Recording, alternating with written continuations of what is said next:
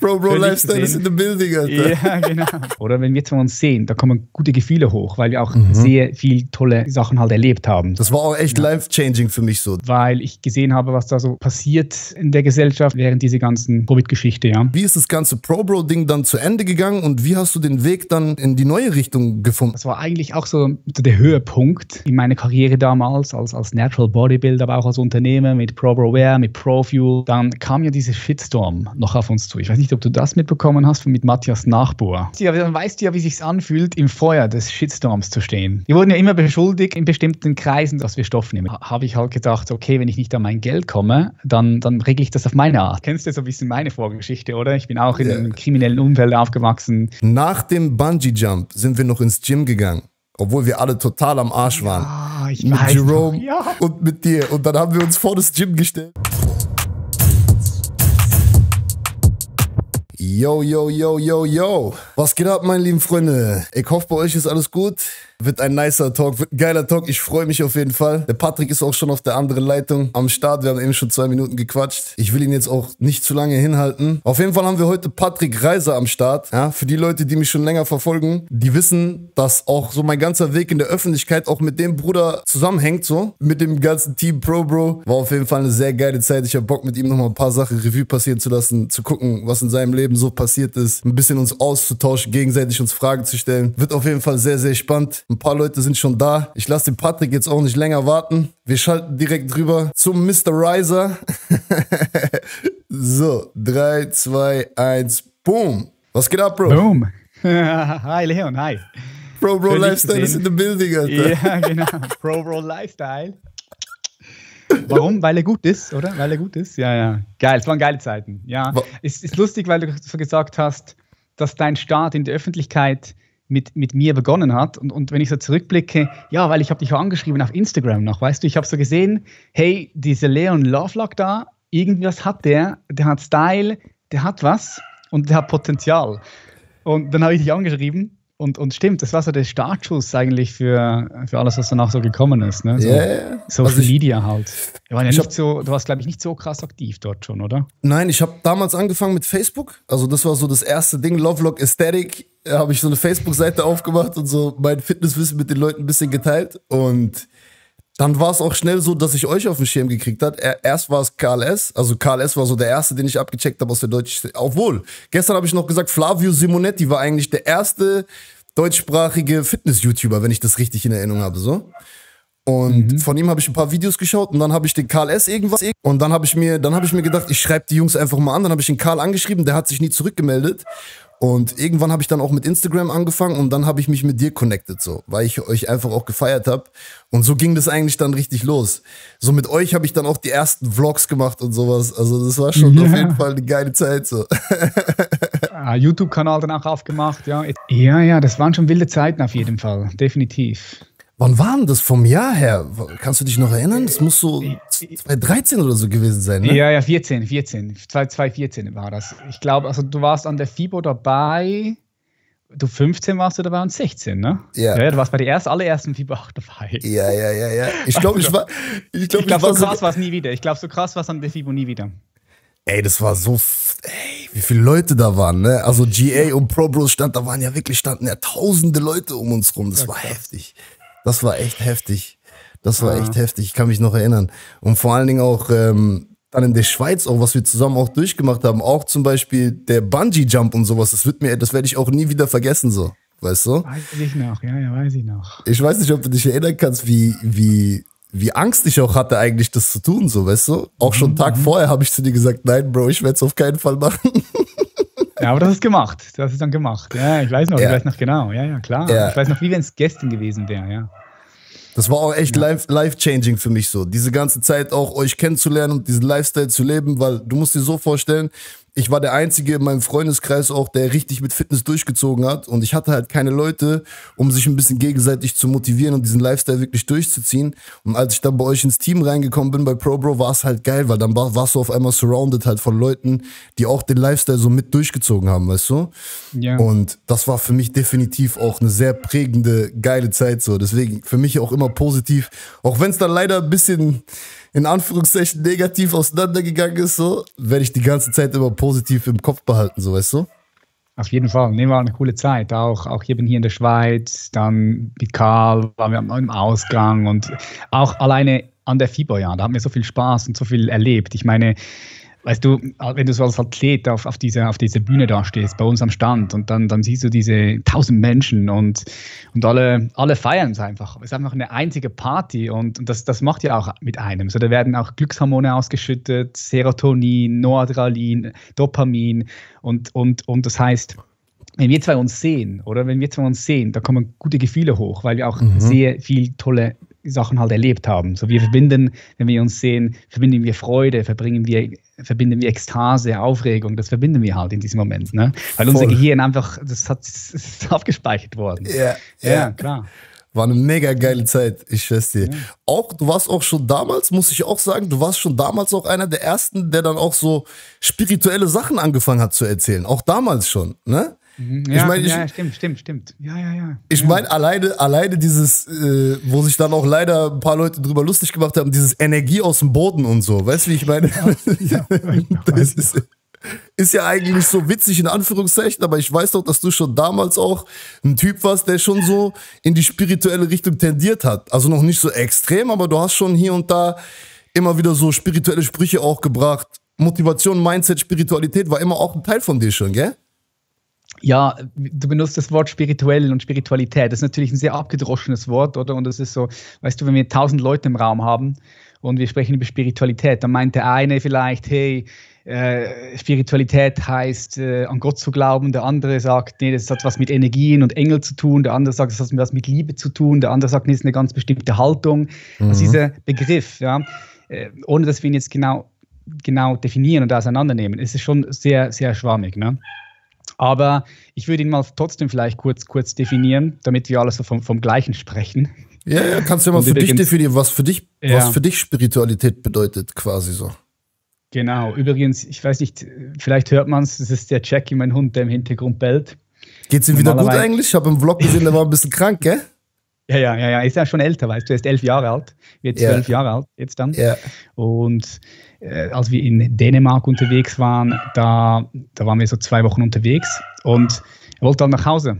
Er, er liebt es hier zu Hause. Wir sind an einen schönen Ort hier gezogen, mitten in der Natur.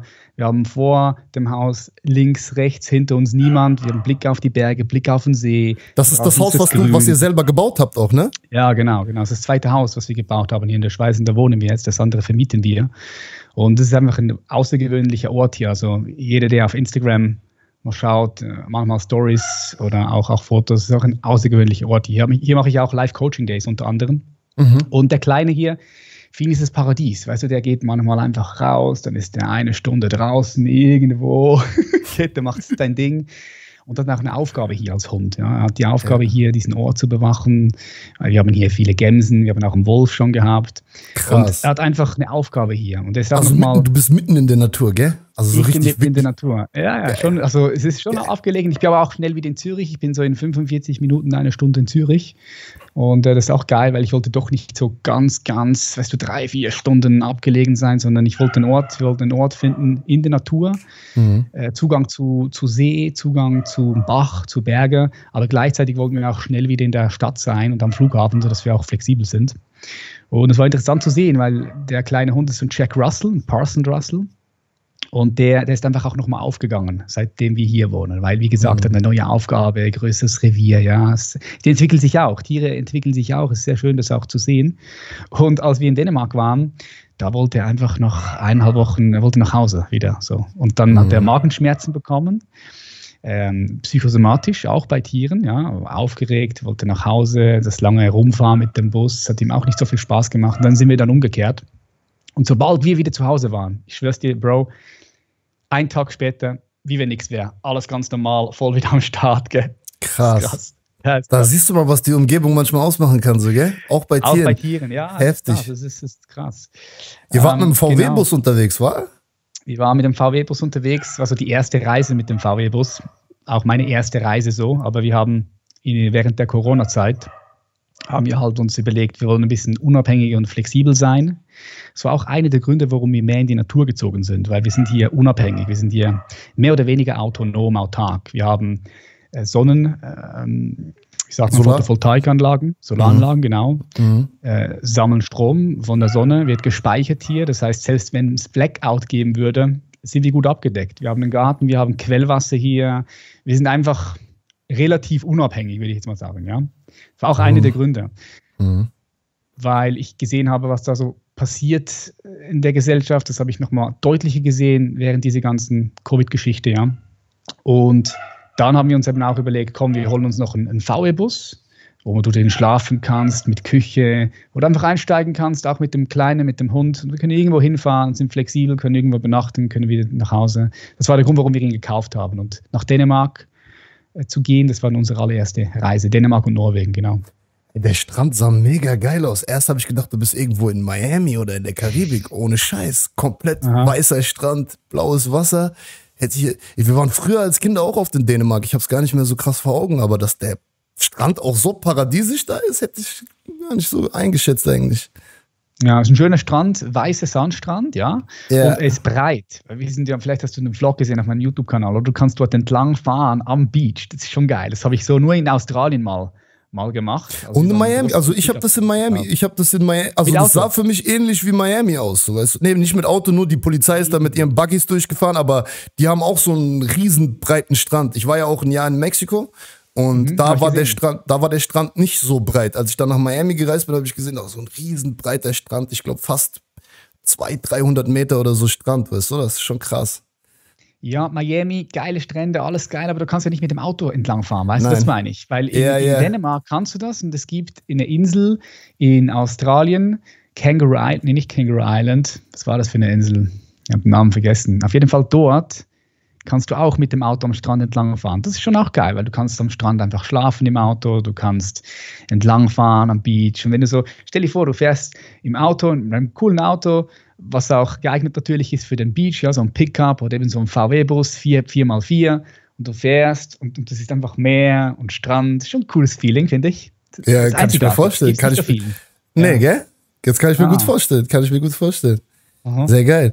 Ähm, ey, äh, was mich auch nochmal interessieren würde, ist so, wie ist eigentlich das ganze Pro-Bro-Ding, also wie hast du denn deine Transformation gemacht quasi? Also wie ist das ganze Pro-Bro-Ding dann zu Ende gegangen und wie hast du den Weg dann in, in die neue Richtung gefunden? Was war da so, gab es da irgendwelche Auslöser für? Das würde mich nochmal interessieren, wie das alles so passiert ist, weil ich habe das gar nicht so richtig krass auf dem Schirm gehabt, wie das Pro-Bro-Ding dann auch geendet ist und wie du dann einen neuen Weg gestartet bist quasi. So kannst du dazu mal ein bisschen was erzählen?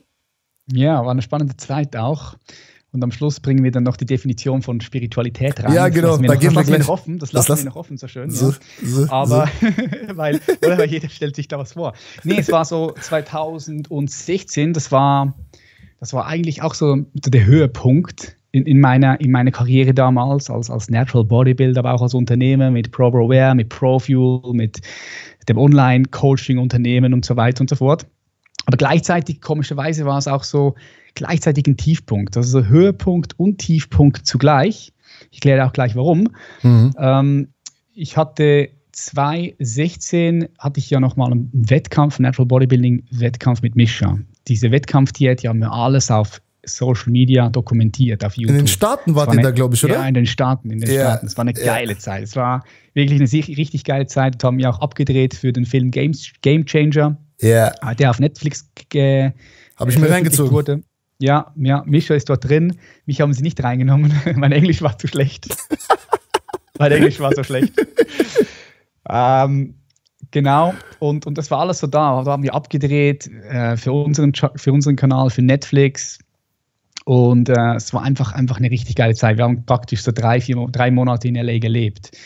Und ich hatte dann den Wettkampf im Juli in Sacramento, mein allererster Profi Wettkampf als Pro Natural Bodybuilder. Ich habe mir damals, als ich Weltmeister geworden bin, 2014, so die Pro-Card geholt. Das, mhm. das, ist einfach so, so, so kriegst du so eine Karte und dann heißt es einfach offiziell, hey, du bist jetzt Pro, du bist Profi-Bodybuilder, ja.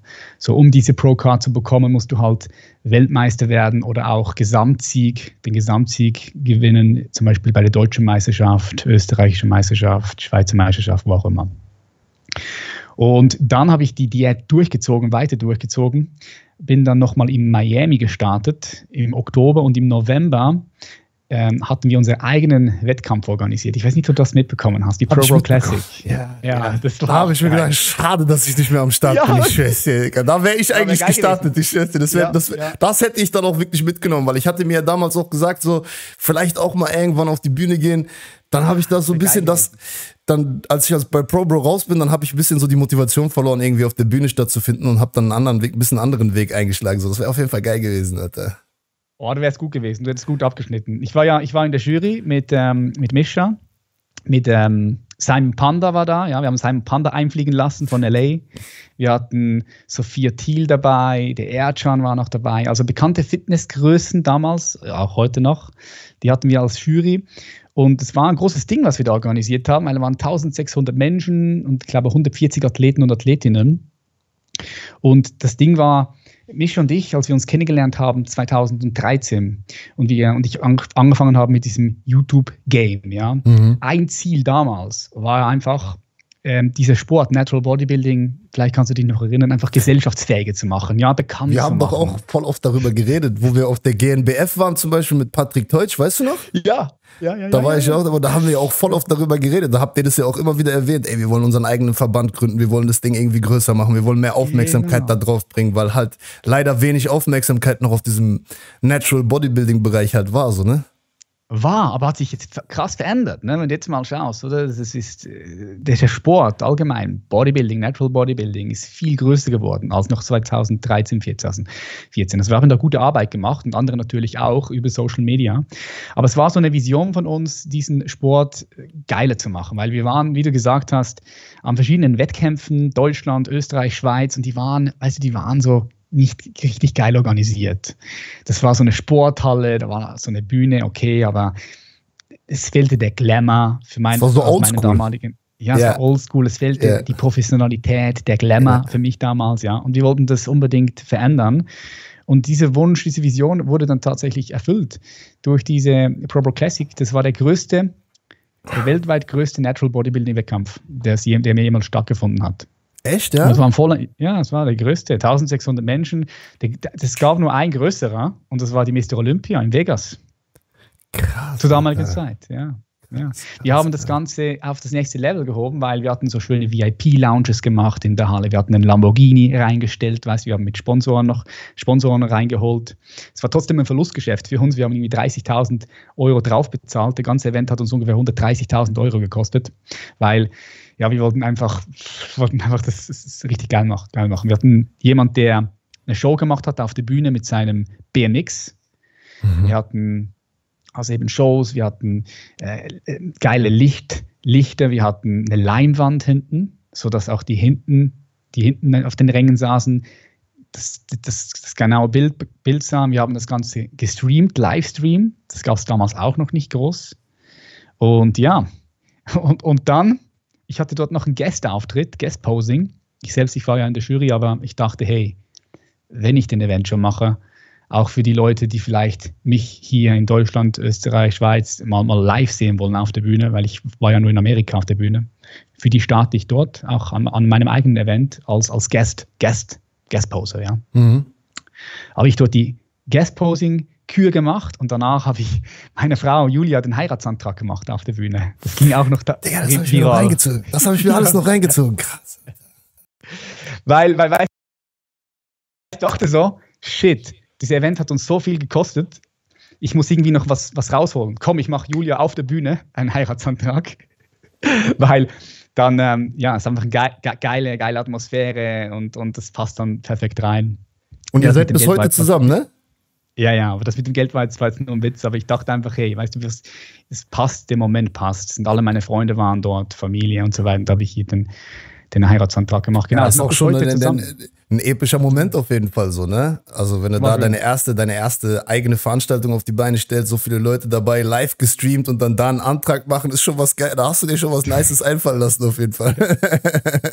es war spontan, es war wirklich relativ spontan, aber war ein sehr schöner Moment, sehr emotionaler Moment auch. Meinen Vater äh, ist dann gekommen auf die Bühne, habe ihn lange, lange, lange nicht weinen gesehen und habe ich so Tränen bei ihm in den Augen gesehen.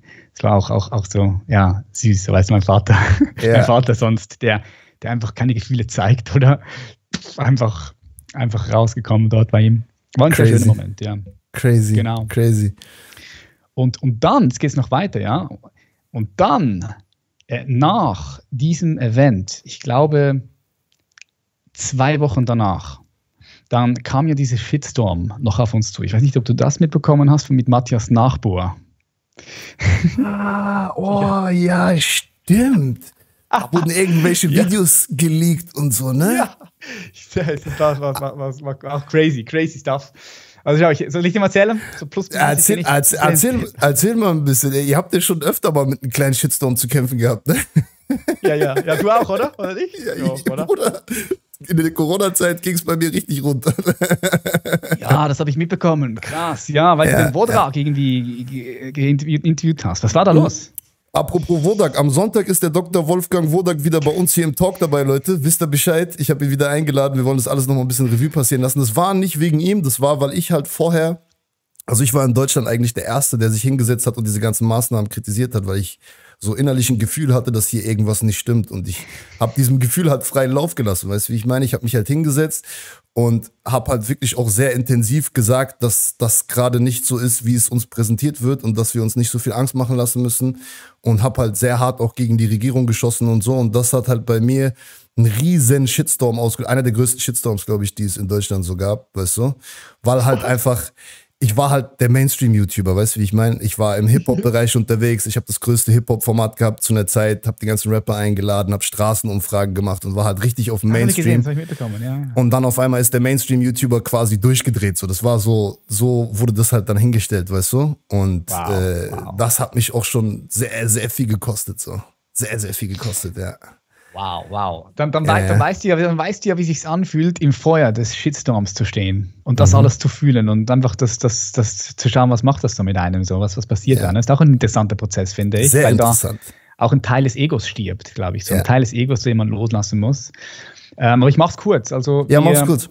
Ja, ich mach's kurz, weil wie, wie, wir wurden ja immer beschuldigt und in bestimmten Kreisen, dass wir, dass wir Stoff, dass wir Stoff nehmen, ja, Anabolika, Testosteron, dass wir mit solchen Substanzen arbeiten. Aber wir haben immer gesagt, hey, Mischa und ich, wir sind Natural Bodybuilding, Natural Bodybuilder. Das heißt, wir, wir haben nie etwas genommen, ja, außer das Zeug, was du überall kaufen kannst, so Kreatin, die Proteindrinks, die du überall halt bestellen kannst, aber nichts, was sonst auf der Dopingliste ist, ja.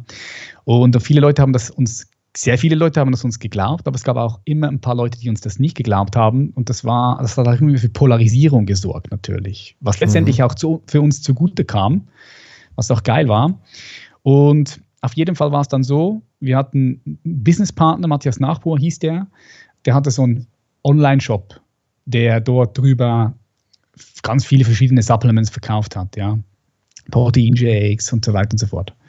Und wir hatten den Deal mit ihm, dass Misch und ich ähm, diesen Shop online pushen und promoten, weil die damals unsere Produkte von Profuel auch im Shop gehabt haben. Die hatten das Exklusivrecht. Mhm. Und dann war es so, dass wir herausgefunden haben, dass er äh, Menschen betrügt, dass er ein Betrüger ist und wir hatten unser Geld nicht bekommen seit drei Monaten. Und dann haben wir ihm gesagt, hey, ja, Geld überweisen und so weiter und so fort.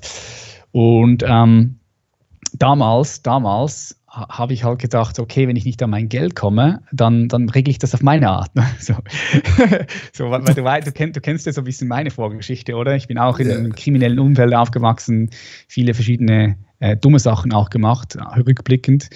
Und ich hatte einfach da noch ein paar Beziehungen. Und dann war es so, wir haben uns getroffen in einem Hotel, Mischa, ich, seine Freundin und er.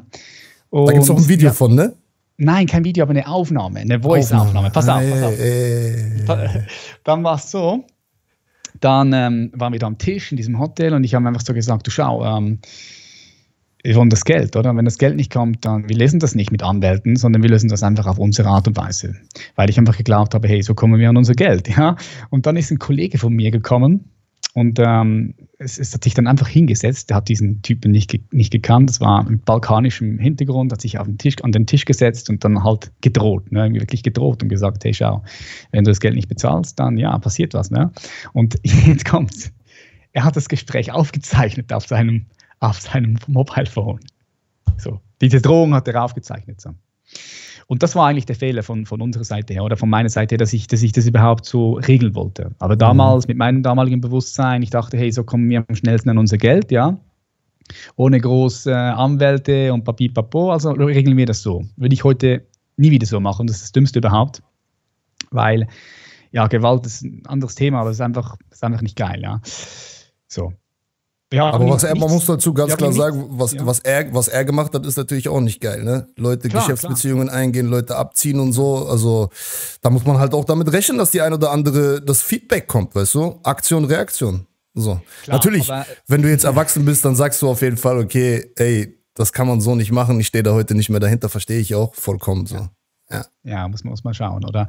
Äh, nicht, nicht, nicht gut gewesen, so von, von, unserer Seite her. Auf jeden Fall kam das dann raus und dann, äh, musst du dir vorstellen, das hatte dann sehr schnell die Runde gemacht, auch auf YouTube. Er wurde dann eingeladen bei Garnicos, bei den anderen großen Fitnessmagazinen und hat dann auch noch erzählt, dass wir, als sie zusammen in Kolumbien waren, weil wir waren zusammen in Kolumbien, dass er ja. dort Spritzen gefunden hätte und dass, dass wir doch eben auch Stoff seien. Das, das, das stimmt einfach nicht. Das ist völliger Bullshit. So. Und, und all das kam dann raus. Also kam dann so, die Leute haben das so geglaubt, viele, und das war so der Shitstorm. Dann habe ich noch also ich kann mich erinnern, sicher so zwei, drei Monate hatte ich auf ein Video so 3.000, 4.000 Dislikes. Das war auf ein Video und da waren alle möglichen Sachen drin. So, du, hey, man hat Hure, aber auch du dies, du das. Ja, also waren, meine Mutter hat, meine Mutter hat dann die Kommentare gelesen unter meinem Video und sie hat sich so Sorgen gemacht, ne? Aber ich so, hey, alles easy, alles easy. ja. Aber da waren einfach Sachen auch drin, so total, kennst du ja, ja total unter der, der Gürtellinie ja. dann. Und das war ein starker Shitstorm. Das war auch interessant, das so zu erleben. Man hatte auch das Gefühl, dass viele Leute auch ein bisschen darauf gewartet haben, bis bei euch irgendwas rauskommt, dass man euch einen Shitstorm verpassen kann. Weil ihr halt auch diese lauten, extrovertierten, neuen Vibe in die ganze Szene mit reingebracht habt. Muss man ganz klar so sagen. Natural Bodybuilding. Ja. Wir haben da auf der FIBO Welle gemacht, so die ganzen Oldschool Bodybuilder, die seit Jahren da sind und nie so so viel Hype hatten, waren natürlich auch irgendwo abgefuckt auf euch. Hat man auch gemerkt so. Deswegen waren ja die Stoffvorwürfe auch immer im Raum. Und ich glaube, viele Leute haben auch ein bisschen darauf gewartet, bis irgendwas an die Öffentlichkeit kommt, damit man wieder einen Shitstorm bei euch auslösen kann, so weißt du? Ich denke ja. Ich denke ja, äh, definitiv. Ähm, war auf jeden Fall eine spannende Zeit. Und diese Zeit, also schon davor, als ich, ich weiß noch, als ich mit Mischa in Vegas war, in Las Vegas, dann nach unserem Wettkampf, habe ich so gespürt, so, so dieses Natural Bodybuilding, naja, ich habe es jetzt gemacht eine gewisse Zeit, aber ich fühle es nicht mehr so. Ich habe auch so die Schattenseiten angefangen zu sehen, äh, dass wir da auch zu sehr uns verlieren können, ja, dass wir uns nur noch mit dem Körper anfangen zu identifizieren und dort uns verlieren. Ähm, ich habe die Schattenseiten gesehen, beispielsweise von, von Natural Bodybuilding, wenn du, wenn du Wettkampf, Wettkämpfe machst und dein Körper so runterhungerst auf 5,6, 5,7 Prozent Körper, das ist nicht mehr gesund. Also ich habe zwei, drei Monate kein Sex mehr haben können mit meiner Freundin damals, weil er ist danach nicht hochgekommen. So.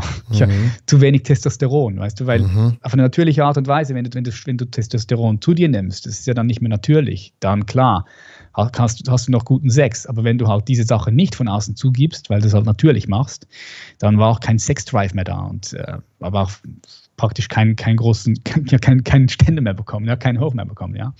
Und das sind das alles so Sachen, die ich und so auch Essstörungen so, gell? Also ich habe bei mir sogar gemerkt, alleine durch ja. das FIBO runterhungern. Ich habe ja nie einen Wettkampf gemacht, aber ich habe ja auch immer Massephase gemacht und dann habe ich Diät gemacht für die FIBO und da kommen mir dann auch, ich habe selber gemerkt, wie dann meine Essgewohnheiten aus dem Ruder geraten sind so ein bisschen, dass man gar keine vernünftige Essgewohnheit mehr hat, sondern eigentlich immer entweder am Hungern ist oder am überfressen ist. So, weißt du, ich meine? Das hat auch eine Aus Auswirkung, glaube ich, dann auf diese ganze Essensgeschichte so. Genau, ne? genau.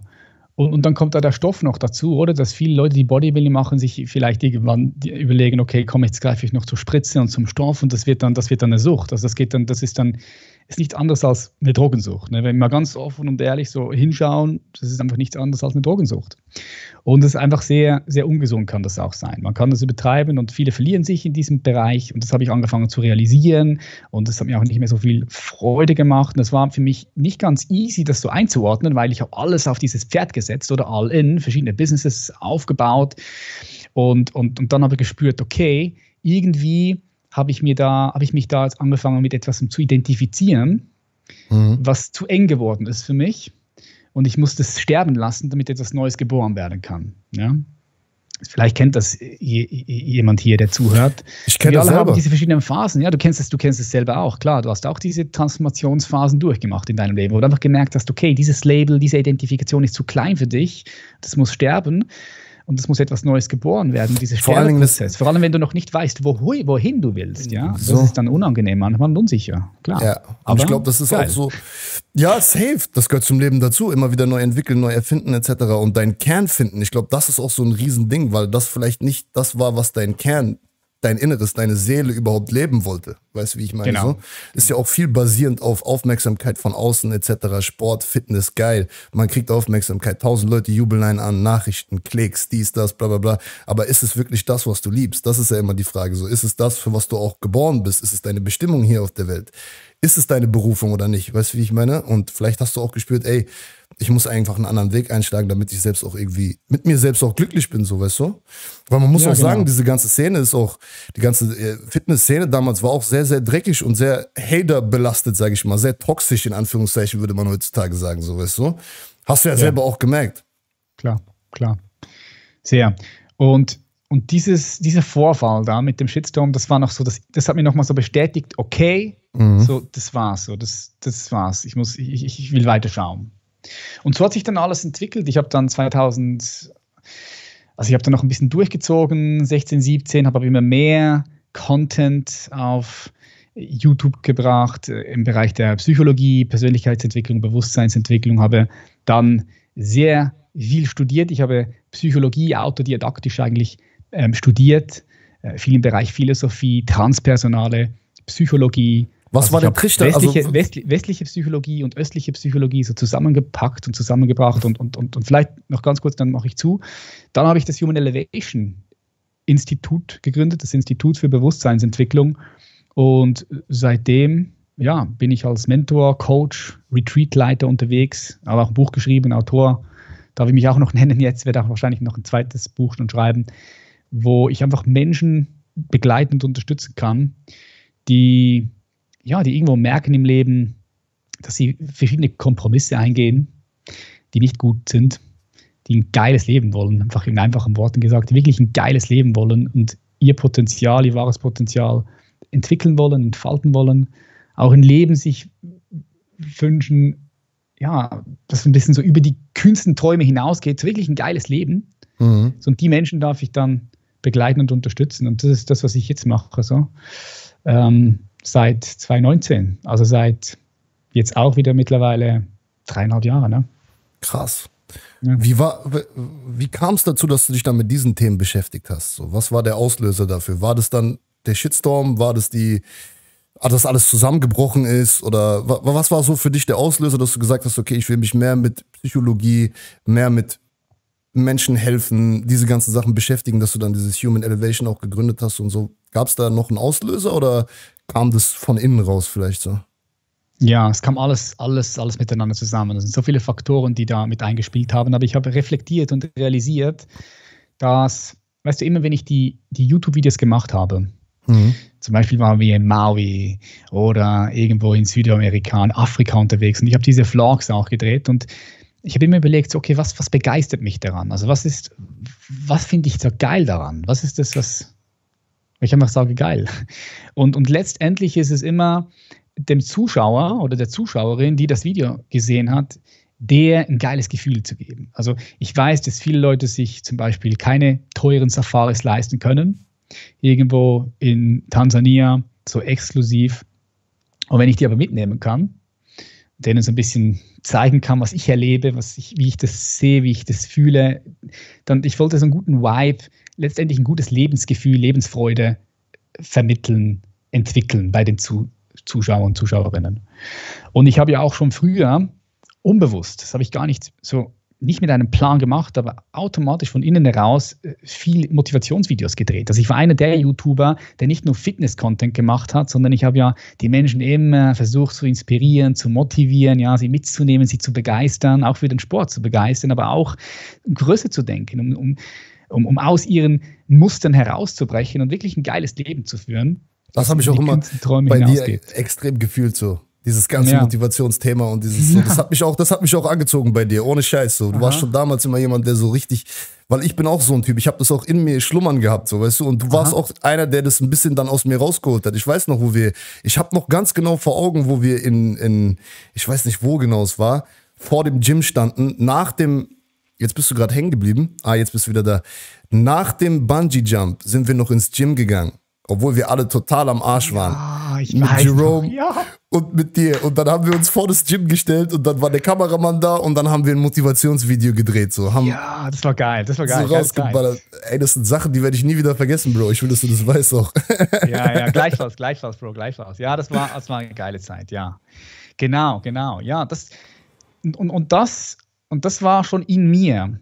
Und das war schon, schon früh in mir, oder? Ich habe das natürlich aufgearbeitet und reflektiert, weil ich habe hab mich viel, ich habe mich so viel mit der menschlichen Psyche und dem menschlichen Bewusstsein beschäftigt. Oder mich interessiert, Warum tun Menschen das, was sie tun? Warum haben sie Wünsche, Ziele, aber können diese Wünsche, Ziele nicht, nicht erreichen, obwohl sie das so sehr wollen? Was sind so die inneren Blockaden, die inneren emotionalen Blockaden, die mhm. mentalen Muster, Blockaden, die Wunden aus der Kindheit?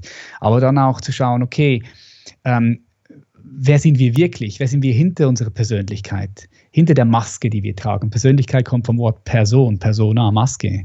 Und wenn wir die Persönlichkeit haben, die Maske anhaben. Wer ist denn das, der oder die, der die Maske trägt? Ja, also tiefer zu schauen. Einfach mir auch die Frage zu stellen, warum gibt es überhaupt etwas und nicht nichts? Ja, warum gibt es etwas und nicht nichts? Was ist dieses, dieses ganze Existieren, dieses hier in der Welt sein? Ich meine, du und ich, wir sind hier, wir hören uns, wir, wir, wir, wir, wir machen Töne und Laute mit unseren Lippen und Zungen und, und wir verarbeiten das in unsere Gehirne und wir können uns verstehen. Und andere können zuhören und mit dabei sein. Also alleine das ist doch ein abgefahrenes Wunder, wenn du mich fragst. Das ist crazy. Das ist einfach Magic. Das ist ein Wunder. Und mich interessiert dieses Wunder. Mich interessiert, dass wie alles entstanden ist und wo alles hingehen könnte. Wo könnte unsere evolutionäre Entwicklung hingehen? Von den Atomen, ja, zu Molekülen, zu Zellen, irgendwann zu Amöben, zu Tieren, zu Mensch. Wo, was was geht es da? Wo, wo, wohin geht es? Weil Evolution zeigt eine ganz klare Richtung. Ja? Mhm. Und das ist etwas, was mich ähm, schon früh begeistert hat. Also seitdem ich auch schon Bodybuilding mache, hat mich Körper und Geist interessiert. Aber ich habe das nie so wirklich für mich entdeckt. Erst erst eben 2016 habe ich das erkennt, erkannt, dass ich das schon lange in mir habe. Ich habe auch früher beispielsweise in der Schule habe ich immer versucht, äh, Leuten, Leuten zu helfen. Also ich weiß noch, als ich im Kindergarten war, Kindergarten, da gab es so eine, eine, eine, Frau, die Schwierigkeiten, also ein Mädchen damals, ja, die, ähm, die sehr traurig war, weil ihre Eltern sich äh, geschieden haben, getrennt haben damals. Da war ich, weiß nicht, sieben oder acht. Schule, Schule war das. Mhm. Und ich habe einfach, es hat mich interessiert, ihr zuzuhören und, und ihr auch weiterzuhelfen, irgendwie, so für sie einfach da zu sein und irgendwie ihr, ihr zu helfen. Und ähm, das ist in mir, in mir, drin und ich weiß auch, warum das in mir drin ist. Ich habe das auch analysiert. Das kommt von meiner eigenen Wunde. So, ich, ähm, ich bin groß geworden, ähm, immer mit einem Gefühl von, ich bin nicht wertvoll, so wie ich bin. Ich bin nicht, ich bin dumm, ich bin nicht intelligent, ich werde nicht geliebt. Ja, das hat Gründe, einfach aufgrund von meiner Geschichte, wo ich aufgewachsen bin, in welchem Umfeld, mit meinem Vater, aber auch in der Schule. Ich musste die dritte Klasse wiederholen. Ich dachte immer, ich wäre dumm, weil ich Mathematik nicht verstehe. Heute weiß ich, Mathematik ist mir einfach am Arsch vorbeigegangen, ja. Und, ähm, und, und lange Rede, viel Sinn. Und, und, und wenn ich anderen Menschen helfen konnte, ja, dann habe ich mich in dem Moment wertvoll gefühlt. So. Und ich habe meine eigene Wunde heilen können durch das auch, oder? Also das kommt, denke ich, von dort, diese, dieser Wunsch, dieses Verlangen auch anderen Menschen weiterzuhelfen, weil ich mich dann dadurch auch besser gefühlt habe, ja. Und darum war das immer schon irgendwo in mir und hat sich jetzt einfach natürlich nochmal sehr, sehr intensiv entwickelt, ja.